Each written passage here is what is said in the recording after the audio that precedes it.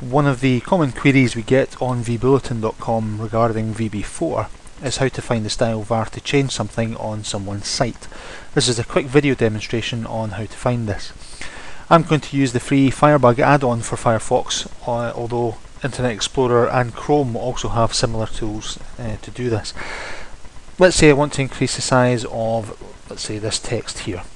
Uh, let's have a, a look in Firebug and we can see that two small windows appear now at the bottom of my browser window.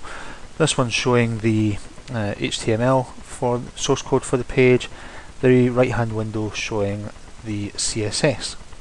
Uh, if I click on this inspect element button you'll see that each element on the page now highlights as I pass the, the cursor over it both on the page itself and in the windows at the bottom. If we look at the text I want to change uh, click on that, we'll see here that it's highlighted both in the source code and the relevant CSS is uh, shown on the right hand side.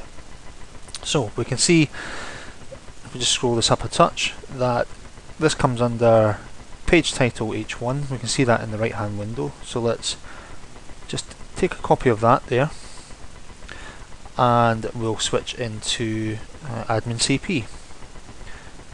Let's search the templates and see what we can find for that particular CSS. Now, we know that we're not looking for the blog, we're not looking for search here, so this must be controlled within vbulletin chrome.css.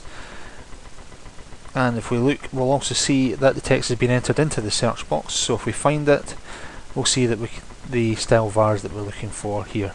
Now, if we're looking to, say, increase the size of the text, if we take a look at font size, we'll see that the style var page title underscore font is the one that we want to, to look at.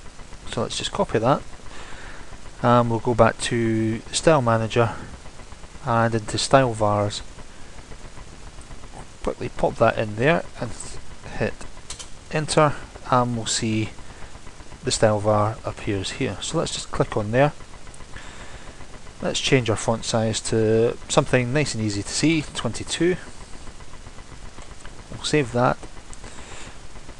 Go back to the forum itself and let's refresh the page and we'll see that the text now has increased in size and we can also see that here on the, the CSS window the font size is now showing as the 22 that we entered in the style system. This will work for locating any style var, but bear in mind that some may not have their own element but be inherited, so you might need to scroll down in this CSS window uh, within Firebug until you find the particular uh, style var that you, you need to find.